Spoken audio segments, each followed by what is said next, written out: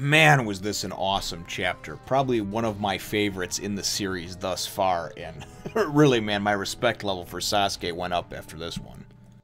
Naruto, number 27, Awakenings. Man, this is some powerful shit. Whew.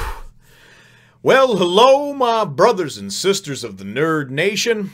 I, as always, am Jim, here to bring you another review on the awesome and, and adventure and blood-soaked tale of Naruto.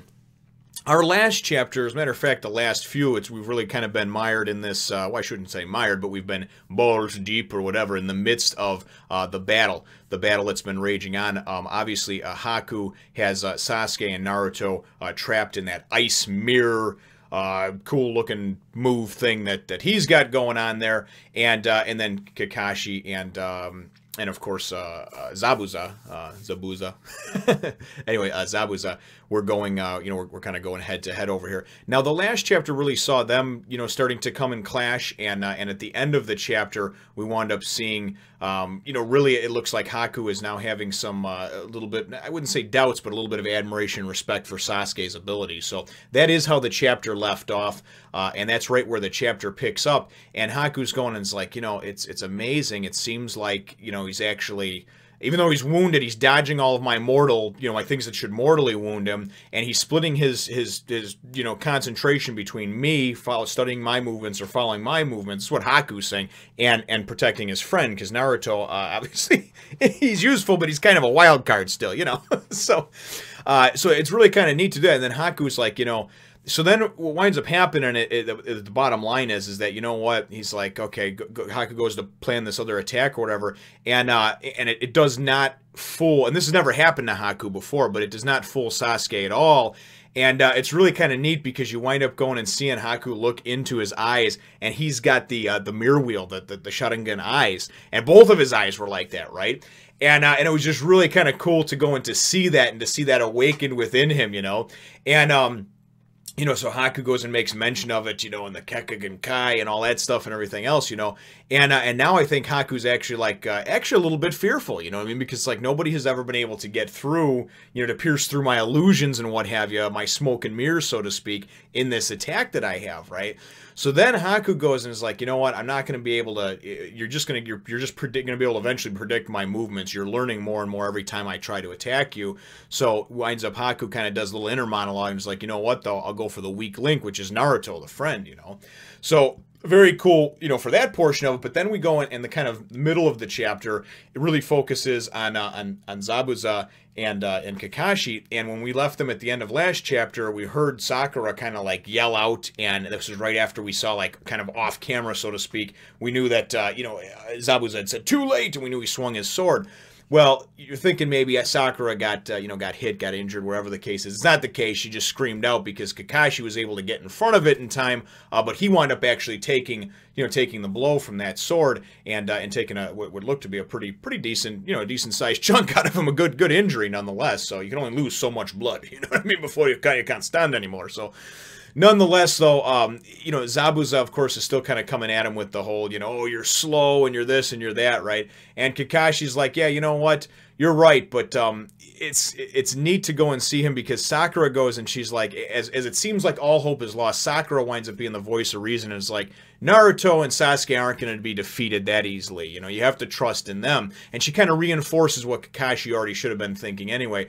And Kakashi's like, you know what, you're right. They're not just ordinary people anyway. You know, Naruto is obviously a wild card, but Sasuke has like just limitless ability and this and that. And then it winds up coming out, and he actually tells Zabuza that he is actually, you know, he, he's actually uh, Sasuke Uchiha. Um, and, and apparently this clan, and I didn't know this because of course I'm new to the series, apparently he's the last one uh, remaining of his clan, right?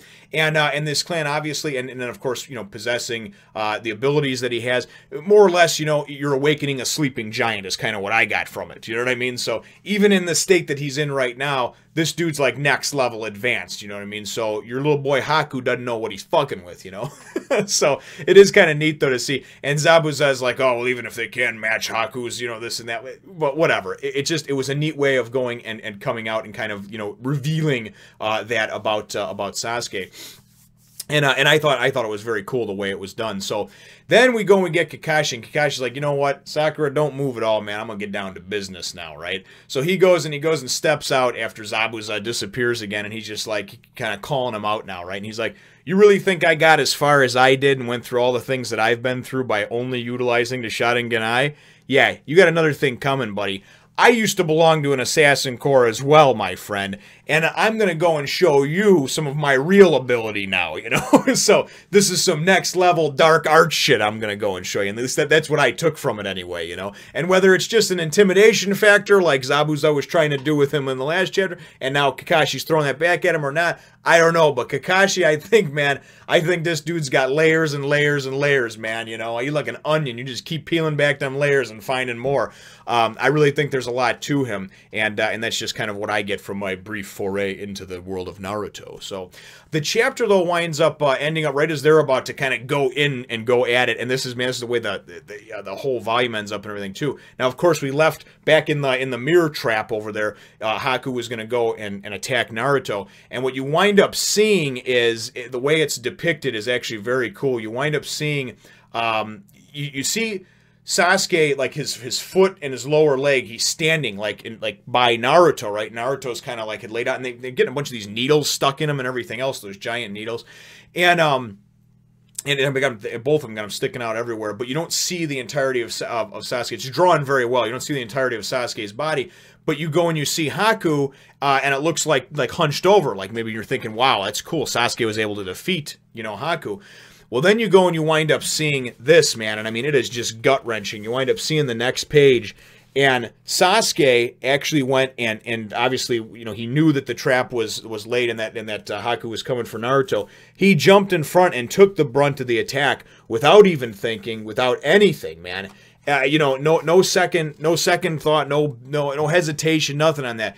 And I really like that because Sasuke and Naruto have never really seen eye to eye. And there's even one point where Sasuke is explaining, kind of like with his dying breath over here, about how, you know, I pretty much hated you, you know? And then he goes and he says, ah, you know, and it kind of makes fun of him. He's like, Jesus, now don't be useless. Go and get this taken care of, type of thing, you know? Uh, and then he's and then he goes and makes it out like, uh, he says, oh, was just my body just moved to block it. But the way the whole thing was depicted to begin with was very cool because it made you think, at least me for a page or so, it made me think that, oh, Sasuke maybe actually was able to get, you know, get the better of Haku. What it is is that Haku is actually like beside himself because he's going and he's seen uh, the true sacrifice that uh, that you know and then the shinobi ways and everything else that he's been taught. He sees that Sasuke made the ultimate sacrifice for Naruto, and that there was no hesitation, there was no second thought. He knew that it was a trap, and it doesn't matter anyway. He still went and stood in front of him and really took the bullet. He bit the bullet, he took one for the team. Um, and, and like I said, to say you're going to do that and to actually do that are two different things because when it comes to life or death boy i tell you man i've been in some situations that were very harrowing and a lot of people that talk big and bad uh, they don't walk big and bad you know they run really quickly and uh, and people that you think that you know they're with you they're your friend they're your family they got your back ride or die and all that bullshit and they're the first ones sometimes to turn tail so you really never know until you get into a situation that's very harrowing and could be life or death or possibly a life or death situation but very cool the way the whole thing was depicted. And knowing that even though it appears that Sasuke dies in here, there's obviously it, it, can't be that, that he dies because I know that a lot of people talked about him being a fan favorite throughout the series, so something must happen. Don't spoil me on it, but something must happen, obviously. So that's the only thing that I'm kind of spoiled on is that I know there'd be more weight to this if if this was 10 years ago and I was reading it and I was waiting for the next chapter to come out. I'd really think that Sasuke, uh, you know, had been had been killed, and it was done very well. This whole thing. Then you also go and you find out afterwards from Sasuke, and I thought this was kind of cool. You know, um, he's like, uh, here he goes. He goes. Uh, let's see here. Um, blah, blah, blah. I swore I wouldn't die until I killed him. My older brother thought the oath would save me, but and uh, so I thought that was kind of cool too, because now knowing that he's the last one of this Uchiha clan, right? His brother, the person he swore to kill, maybe this was the person who who who wound up. Uh, who that's the reason the tragedy befell. Because actually, they don't say that the whole clan was killed out. Kakashi just says that he's the last surviving person of that clan after the tragic happening. So whatever it was, maybe this maybe this brother of Sasuke wanted to bleed. I don't know at this point, you know. I just know that it was cool to get that little bit of a reveal, that little bit of a glimpse, you know.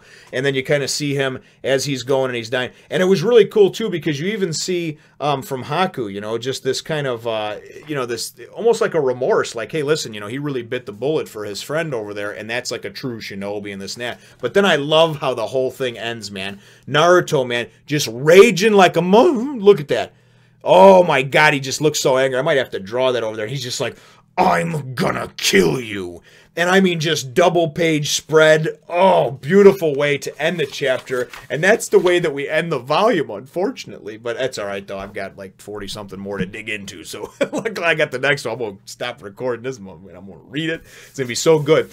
So, my, my chapter question for you is, folks, obviously, we know now, I know, you know, even people who were originally initially on the journey with me, I'm sure you've heard Sasuke is just kind of a mainstay within the series. But nonetheless, though, it to me it doesn't take anything away from his sacrifice. What are your thoughts on Sasuke and him just like I said just reacting, just reacting to sacrifice?